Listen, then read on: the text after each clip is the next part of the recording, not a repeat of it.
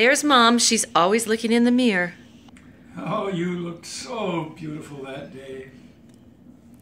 I can't believe that you honked the horn at 3 o'clock in the morning, Lou. Where, where were your manners? Oh, I wanted old Roger across the street to know that I was taking you away and that you belonged to me. Oh, Lou. I mean it. I had his eye on me for years. Ah, Remember, he was so jealous of me. Well, maybe. The old Chevy Caprice and I were ready and waiting. He was. I was so excited. I can't believe that we eloped. Yeah, first you wanted to get married, and I wasn't ready. Then I wanted to get married, and you didn't want to, and back and forth. Yeah, back and forth, back and forth. I was afraid that Cindy and Jane would be upset about it. Uh, just as well that they didn't know about it. We told them later. Yeah, much later. Well, we did it on our way, Miss America. Well, we did it just the way you planned it, Lou.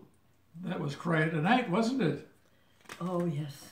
I can even remember what was playing on the radio when we drove off. You remember all these years? After all these years. Amazing. Yeah.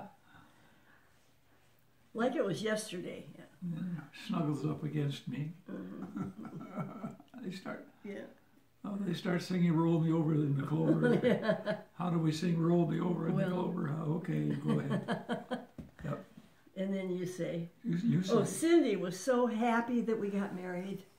I remember Jane saying, "Why are you two getting married? Do you want to have babies?" Yeah, Jane, she gave us a hard time. You know, I wouldn't have had a big church wedding. We would have had to invite so many people because uh, you have so many friends. But that would have been nice. Do you know how expensive that would have been? Oh, yeah, expensive, I'm sure. The important thing is that you were mine, all mine, to have and to hold From that day forward. in sickness and in health.